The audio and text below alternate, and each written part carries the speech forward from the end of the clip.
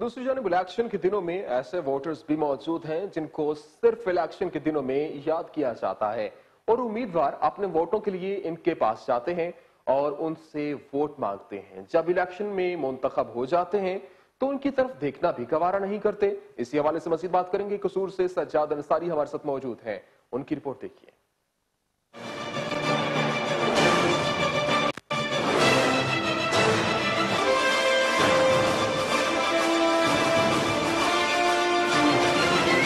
آج کل ووٹر کو عزت دو کا نعرہ تو عام ہو گیا ہے، مگر الیکشن کے پہلے تک تو ووٹر کو عزت دی جاتی ہے۔ اور الیکشن کے بعد ان کو پوچھا بھی نہیں جاتا۔ ان میں سب سے لاچار اور مجبور ووٹر خانہ بدوش ہو گئے ہیں، جن کو اپنے علاقوں میں رہتے ہوئے کتنے کتنے سال گزر گئے ہیں۔